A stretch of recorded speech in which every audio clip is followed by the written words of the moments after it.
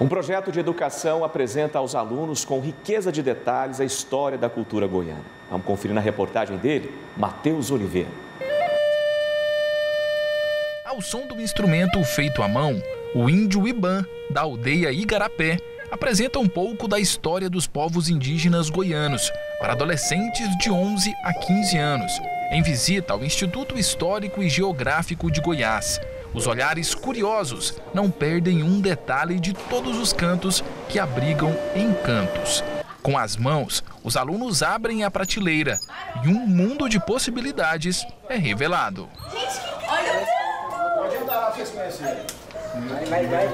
A presença dos alunos é parte do projeto A História Chama Escola. O Instituto Histórico e Geográfico de Goiás é a primeira entidade cultural e científica de Goiânia.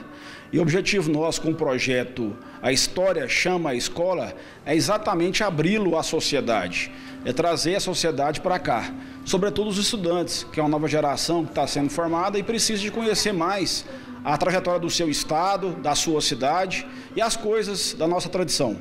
O promotor de justiça Jales Mendonça, presidente do Instituto, é guia dos visitantes. Ele ressalta a mescla que o projeto faz com o digital. Além das peças valiosas, as novas gerações também aprendem sobre história nas telas. Estamos colocando para a sociedade a nossa hemeroteca digital, que é uma página onde você acessa o conteúdo de diversos jornais e, revistas, eh, sobretudo do passado goiano, das primeiras cidades de Goiás. O responsável por essas produções também faz parte da história de Goiás, Antônio Eustáquio, o Taquinho. Foi um dos primeiros produtores audiovisuais do Centro-Oeste. Que não adianta nada acontecer essas coisas bonitas que estão acontecendo se a gente não, não divulgar essas coisas. Né? O Instituto está digitalizando tudo, é muito livro, muito jornal, muita revista. Só foto, acho que tem mais de 50 mil fotos aqui. A gente não pode pensar no futuro se não, se não tiver noção do passado. Né? Cada pedacinho desse prédio é uma exposição à história do estado de Goiás desde os painéis que remetem à construção de Goiânia a pequenos objetos que têm um grande valor histórico. Aqui na Casa Rosada, essa sala tem exposições transitórias, mas mesmo se essa sala estivesse vazia, ainda assim seria um museu. Esse piso e essas janelas, hoje restaurados, ainda são os originais.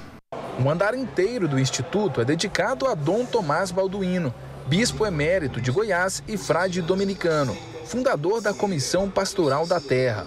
O bispo ficou conhecido em todo o Brasil por seu trabalho de defesa da reforma agrária e dos direitos de povos indígenas. Direito de ser e ter direito. Dom Tomás caminhou com os pés, com as mãos, com os olhos e com sua voz firme por uma história nova essa turminha que veio ao Instituto vai sair daqui com literalmente muita história para contar.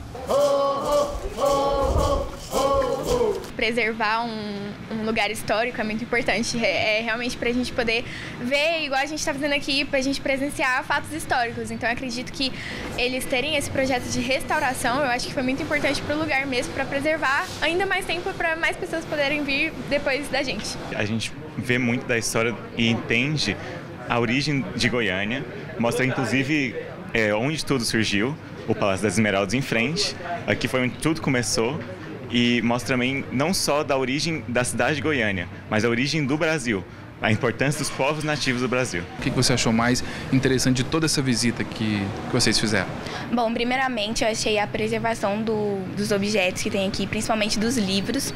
É, também o lugar, porque tem obra de arte de outros das pessoas, né?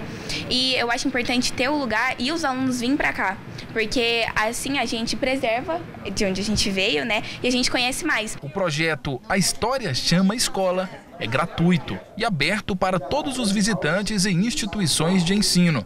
É possível fazer o agendamento por meio do telefone 62 3224 4622. O objetivo nosso aqui esse ano a gente consiga trazer aqui em torno de 20 mil alunos.